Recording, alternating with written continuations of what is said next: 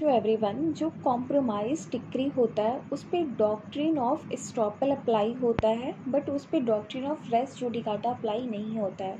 मैंने अपनी previous video में बता रखा है कि doctrine of res judicata apply क्यों नहीं होता है। बट मैं आपको एक चीज़ यहाँ पे क्लियर करना चाहूँगी। अगेन कि डॉक्ट्रिन ऑफ़ रेस जुडिकाटा इसलिए अप्लाई नहीं होता है, क्योंकि आपने ज, आपको जैसे कि पता होगा कि डॉक्ट्रिन ऑफ़ रेस जुडिकाटा तब अप्लाई होता है जब कोर्ट ने वहाँ पे कुछ अपना जजमेंट दिया हो, जहाँ पे कोर्ट ने फाइनली डिसाइड किया हो मैटर को, और फिर वहाँ पे बाउंड करता है doctrine of res judicata in a further subsequent litigation पे बाइंड करता है कि पार्टीज़ दोबारा सेम कॉज ऑफ़ एक्शन पे सब्सिक्वेंट लिटिगेशंस नहीं ला सकते हैं अगर कोर्ट ने फाइनली डिसाइड कर दिया है तो doctrine of res judicata apply होता है। बट जब आप कॉम्प्रोमाइज़ डिग्री देखते हैं तो यहाँ पे कोर्ट ने कोई भी अपना जजमेंट नहीं दिया होता है और ना ही कोर्ट ने कुछ भी यहाँ पे डिसाइड किया होता है। केवल जो कोर्ट होते हैं ना वो यहाँ पे पार्टीज़ जो होते हैं during the pendency of the suit party केवल अपना खुद से एग्रीमेंट करते हैं और वो सेटल करते हैं डिस्प्यूट्स को। तो इसलिए यहाँ पे जो कोर्ट होते हैं, उनकी कोई भी यहाँ पे फाइनल ऑथेंटिसिटी नहीं होती है। कोर्ट की वहाँ पे कोई कोर्ट ने वहाँ पे किसी भी कोर्ट ने उस सूट में कोई भी अपना एक एडजुडिकेशंस नहीं किया होता है। और मैटर को डिसाइड नहीं किया होता है। इसीलिए कॉम्प्रोमाइज़ डिग्री पे doctrine of res judicata apply नहीं होता है।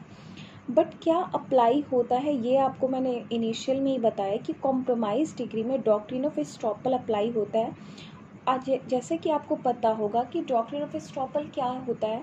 आपको कॉमन मतलब कॉमन लैंग्वेज में मैं बताऊँ तो जैसा कि आपने प्रीवियसली कुछ स्टेटमेंट अगर बोले हैं, और उस स्टेटमेंट से रिगार्डिंग अगर कुछ आपकी राइट्स हैं क्लेम्स हैं, और आपने वहाँ पे प्रीवियस अपने स्टेटमेंट में अगर वो आप एग्री कर जाते हैं, उस राइट्स और क्लेम से रिगार्डिंग तो बाद में आप प्रीवियसली जो आपका स्टेटमेंट रिकॉर्डेड होता है रिगार्डिंग राइट्स एंड क्लेम और अगर वो एक्सप्रेसिवली या इम्प्लाइडली अगर आप कोर्ट देखती है कि या तो वो एक्सप्रेसली या इम्प्लाइडली कोर्ट फाउंड कर लेती है कि आपने आपने उस क्लेम और राइट से रिगार्डिंग कुछ असर्ट किया था और आपने वहाँ पे अपना एक अपना एक क्या दिया था?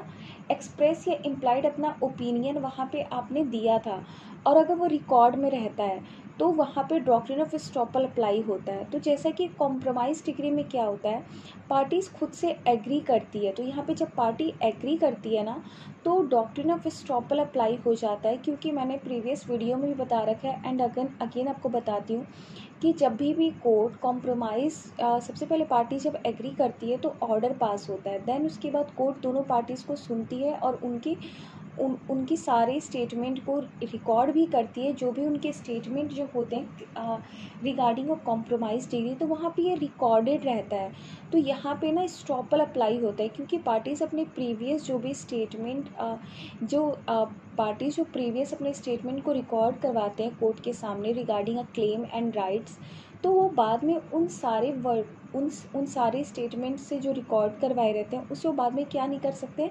वो कर नहीं सकते हैं, जैसे कि एक लेमन लैंग्वेज में बोला जाए, आप उसे डिनाई नहीं कर सकते हैं। तो यहाँ पे कोर्ट आपको स्टॉप करती है तो डॉक्टर ऑफ़ स्टॉप पर अप्लाई होता है। ना कि डॉक्टर ऑफ़ रेस जो डिकाटा अप्लाई होता है। बट अगर डॉक्ट्रिन ऑफ़ स्टॉपल के लिए भी आप कैंसिल कैसे करवा सकते हैं इसका भी एक प्रोविज़न है। इसके लिए क्या कर सकते हैं जब पार्टीज़ के बीच में कॉम्प्रोमाइज़ हो जाता है तो वो उसे आ, क्या माना जाता है? Operate as a doctrine of estoppel तो यहाँ पे डॉक्ट्रिन ऑफ़ स्टॉपल अप्लाई होता है। जो बाइंडिंग होती है पार्टीज़ पे बट वो कब कब तक उसको सेट असाइड भी किया जा सकता है। अगर वो उसी कोर्ट के सामने एप्लीकेशन मूव करे under the order twenty three rule three then court उसको सेट असाइड कर सकती है बट वो कोर्ट के ऊपर डिपेंड करता है कि किस एक्सटेंड तक कोर्ट वहाँ पे ये देखती है कि आपने किस फैक्ट से रिगार्डिंग, किस क्लेम से रिगार्डिंग आपने वहाँ पे अपने आप अपने आप को वहाँ पे असर्ट किया था उस फैक्ट से रिगार्डिंग कि हाँ मैं मानता हूँ और इन सारे टर्म्स एंड कंडीशंस पे मैं एग्री हो रहा हूँ। तो कोर्ट तो आपको स्टॉपल का अप्लाई करेगी और आपको स्टॉप करेगी कि आप उस क्लेम को दोबारा नहीं हटा सकते हैं कॉम्प्रोमाइज़ डिग्री को कैंसिल नहीं करवा सकते। बट अनदर फैक्ट कोर्ट को दिख के आता है ना, उन सारे स्टेटमेंट को पढ़ने के बाद। तो कोर्ट कैंसिल कर सकती है। तब डॉक्ट्रिन ऑफ़ स्टॉपल अप्लाई नहीं होता है।